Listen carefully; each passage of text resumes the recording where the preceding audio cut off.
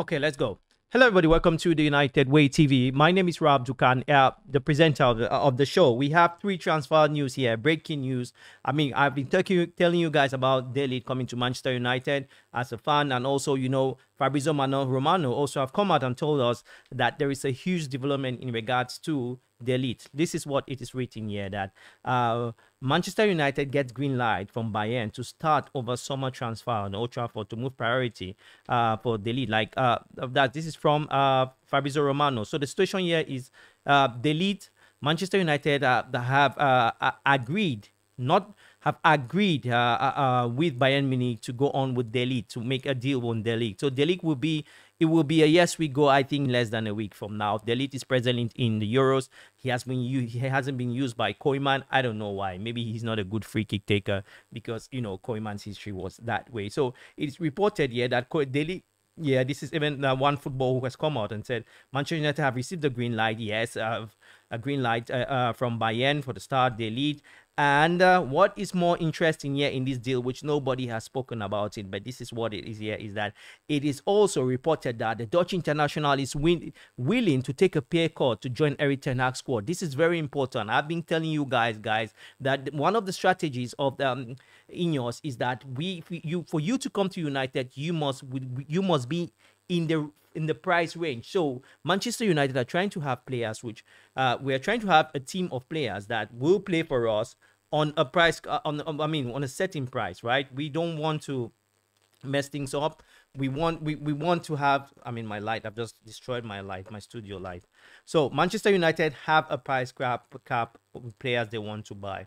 And what they are trying to do presently is they will want to have players. I think the price will be players will not be earning over 250, maybe even 200, but there will be more bonuses. I've come up, that's my own theory. I come up with that. I told you guys that one of the best way, the way football have to move is that yes, these players should have good salaries, and uh, uh, but you know what? What uh, teams have to do, they have to be bonuses. We have to give some. I mean, the, the wealthy the team, the more the bonus, which means Manchester United will tell Marcus Rashford, get what? You know what, Rashford, you will earn uh, yeah, 200,000 um, pounds a week, yes. But if it happens you score a certain goal or you have a performance, there should be a rate, a way to rate players. And then you, at the end of the month, we can give you extra 330, 45, 50 million, even a billion. Because, I mean, that is the best way to, to manage these players. Because when you know the, the, the way, the, how, the way, the, uh, the kerning of football players, you will understand why it is very important for, the, for us to have a, a, um, a price cap. And this is not only a Manchester United thing. It has to be a, a Premier League things at the top level. Because if we start having players having billions and billions, the game will get destroyed. Not all teams can meet up uh, that demand, and uh, it was, will be a fiasco. Uh, so tell me what you think about a De coming to Manchester United, because I think this is the deal which I mean, from now, I mean, I would say is here we come. Fabrizio Romano will say, "Here we go." I don't know. What are you going to say? Tell me what you're going to say because I think this is a deal which I'm on. I'm on a ninety percent sure this will be a deal.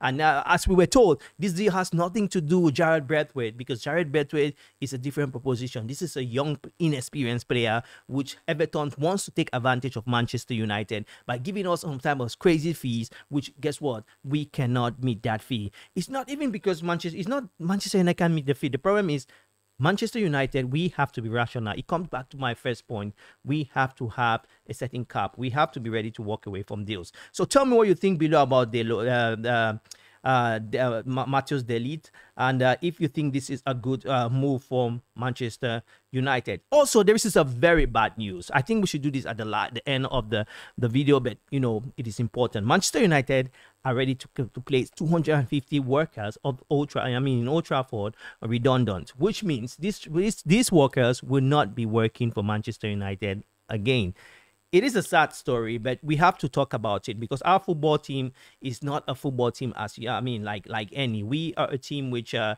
uh, in this community, I created this community just because I wanted our fans to get some news in regards to the football club. So you guys should always give your opinion, not only about on the pitch, but what makes of United. We are Manchester United. We are not Manchester this United. So we have to talk about all the sectors. So my, this is the, this is a strategy done by Ineos. What they are doing is 250,000 workers. That will be maybe, it will be, I think it might be like, I'm not sure. Maybe, I mean, it, it is some good money, but it isn't like yearly salary for play, top players like maybe Bruno Fernandes. But it will be some money. The problem, the, the, strategy which they are doing is they're trying to cut costs on places where they can cut costs uh, on, on Manchester United, so as to be to do either a renovation for Old Trafford or a new stadium. But on uh, where to I mean, this is what in politics governments you do you use it a lot. A government comes into uh, into power. What he does is they, they, they start they start pumping money, maybe on the defense industry,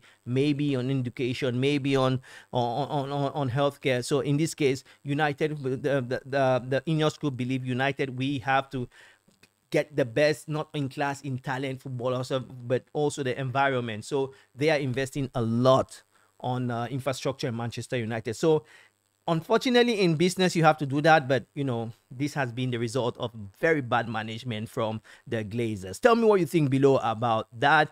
I think it is disgusting uh, for you to lose your job but you know at times you need to uh, you need to make such a deal. Also very good news coming from manchester united. We know Ugarte who is presently now at the copa america with uruguay has been you know uh, contacted by Manchester United. We want to bring him to Manchester United. Obviously, we are.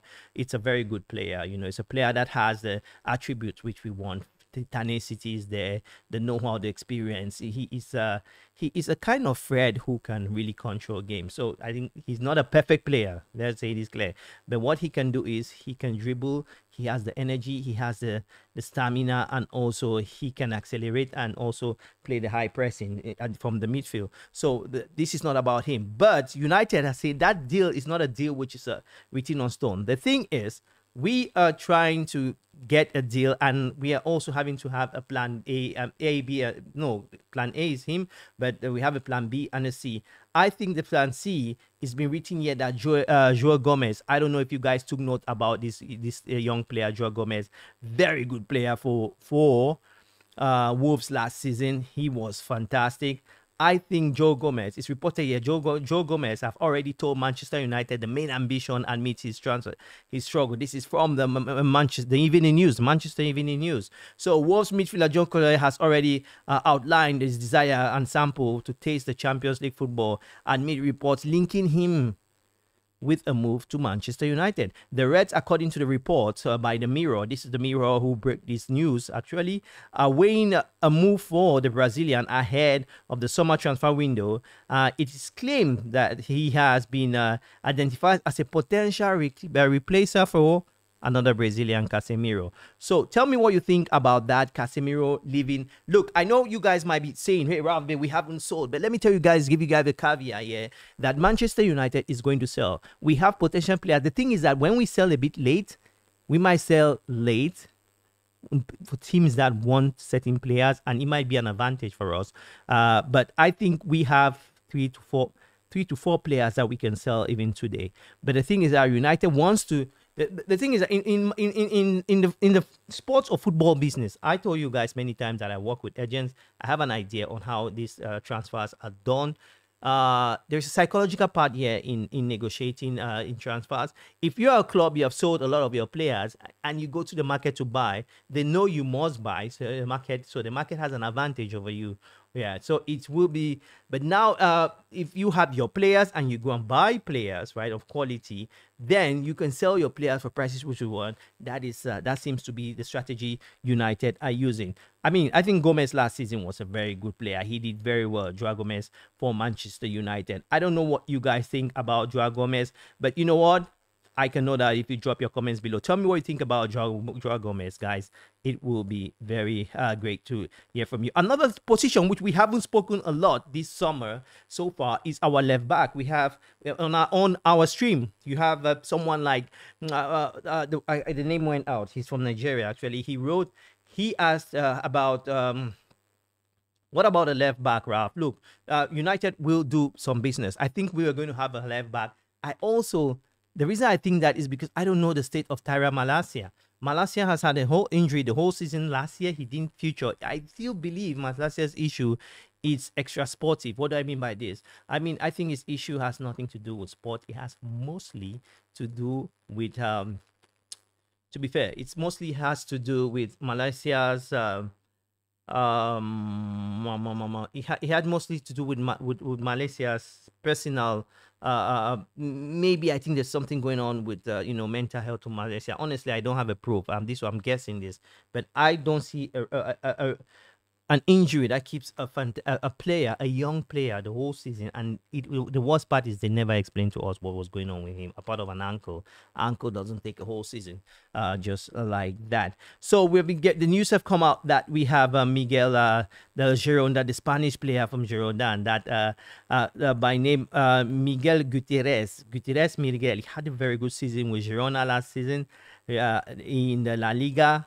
I think he's a player which Manchester United are looking so closely. It's reported that Man U have reportedly agreed a deal to fill a massive need for Erik Ten Hag this summer with La Liga style seemingly on his way to Old Trafford. So Miguel Gutierrez, this is another one we have to see about it. I heard this from uh, uh, from uh, Talk Sports are talking about this. I've got this news also from um, from um, Sky as well, uh, and and I think uh, this is a, a, direction which United might be might be going. Tell me what you think. The age are good. I didn't tell you about Gomes. Gomes is under uh, uh, 25. So is Gutierrez. I think that uh, Ten as Ten uh, sorry uh, are sticking to the idea of bringing players who are below a certain age, and uh, I think that's a good strategy. I don't know what you guys think, but I really do think it is a good strategy. It helps you to keep what you have as your and uh, move on with what you think is really necessary for the football club. So, guys, if you learned something from this video, guys, please make sure you click the like on the video. Get involved with the United Way. We'll be doing streams going forward. We are live every day, but sorry, I haven't been here some time. But every day, uh, every 10, 10 p 10 a.m. UK time.